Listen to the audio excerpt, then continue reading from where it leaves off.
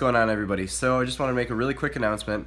Um, since I've made over the past month some really really crazy strength gains, you know, not not necessarily that I'm extremely strong or anything like that. I still don't consider myself to be strong.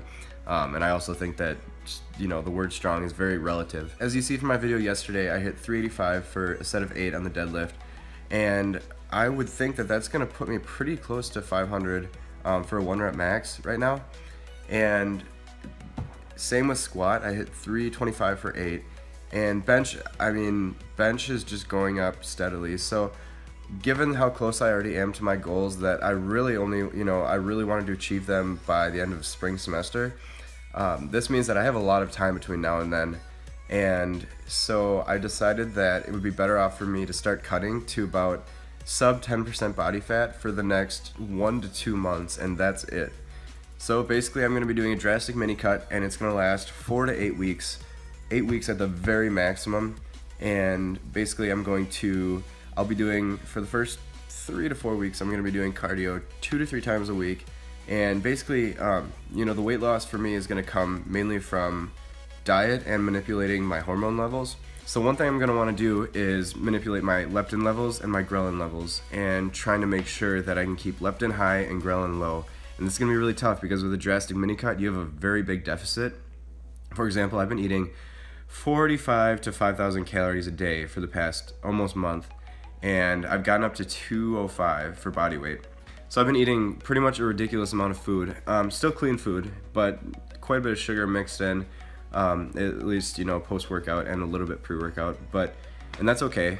However, um, now I'm gonna be cutting back to about 2,200 calories, so pretty much like a 50% decrease in my calories, and it's gonna be a big struggle initially. But that's just kind of the the nature of the beast with drastic mini cutting is that ghrelin is gonna be very high. My body's so used to having you know four to five thousand calories a day, so to suddenly drop off my hunger is going to be really, really high. So there are going to be a few things that I'm going to do to make sure that I am staying full and, you know, not craving all this sugar and fatty food and stuff like that. I mean, the biggest ways that I'll be doing that is keeping my protein intake really high, probably 1.2 grams per pound of body weight, and that'll obviously change as I start to lose weight. like every time I try to talk, there's some sort of doorbell or church bells or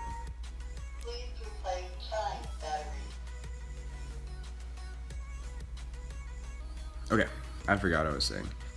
But yeah, basically, ghrelin is the hunger hormone, um, just for any of you that don't know. Basically, as you start to decrease your caloric intake, you know, it's like this primal instinct that your body has. It drives up ghrelin levels and it increases your hunger. And leptin is kind of the opposite, where um, when you're eating a crap ton of food, leptin is really high and it's really good for fat oxidation. However, as you start to diet down, the more you diet, the more your leptin levels drop off, and that makes fat loss even more difficult. So you need to do a lot to keep your leptin levels high while you're cutting, and that's going to come through the form of refeeds. And basically, I'm going to start by doing a refeed once every seven days, but as I get lower and lower in body fat percentage, I'm going to have to drop down to say three or four days, you know, like once every three or four days. Like I said, your body wants to be in homeostasis. It doesn't like being in a caloric deficit. So a lot of things start to happen as you lower your calories. Your thyroid hormone levels drop off, insulin sensitivity increases, a couple other things. Another reason that I wanted to do this cut um, pretty quickly is because my insulin sensitivity is slowly decreasing now that I'm eating so many carbs. I'm probably up to four or 500 carbs a day. Um, and like I said, I'm not tracking, but I am intuitive eating, and I just know my um, I know my diet well enough to know you know where I'm falling as far as my carb range. But um, yeah, so my insulin sensitivity is definitely decreasing, and one of the things that happens as you cut is your insulin sensitivity goes back up. And basically, for any of you that don't know, you want your insulin sensitivity to be high while you're bulking and low while you're cutting. But basically, your body does the exact opposite. That as you're bulking, your insulin sensitivity goes down, even though you want it up and then as you're cutting, your insulin sensitivity goes up even though you want it down. So yeah, just wanted to give you guys a quick update on what to expect.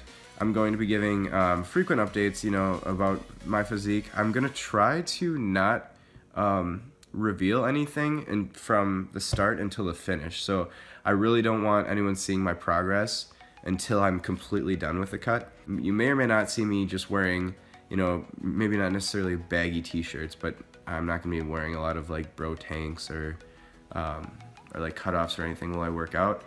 And mainly just like hoodies and baggy shirts, that sort of thing. Just to kind of build the suspense a little more. But anyway, that's all I've got for you guys today. Hope you have a great day.